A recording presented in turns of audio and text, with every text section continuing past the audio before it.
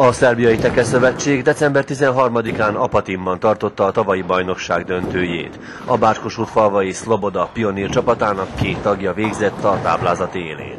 Nagyon örültem, a családom is örült, sokan gratuláltak az iskolában is, a tanárok. Hát én azt szeretem ebbe a sportba, hogy nem olyan, mint a foci, hogy felrúgják a lábodat, hanem magadra számíthatsz, és hát én szeretem.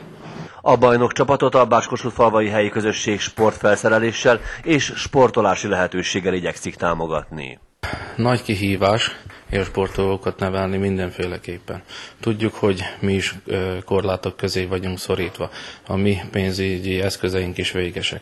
Ebből viszont megpróbáljuk azokat a maximumokat kihozni, és hogy minél jobb minőségűben tudjunk hozzájárulni ahhoz, hogy ők megtalálják a sportolni vágyásukat, és ezáltal talán Báskosútfalva hírnevét is, hogy tovább tudjuk vinni a világba. A Báskosútfalvai helyi közösség 2013. februárjában vásárolta vissza a település egykori rekreációs központját. Még abban az évben elkészült az új tekepálya. Azóta heti rendszerességgel edzenek a fiatalok.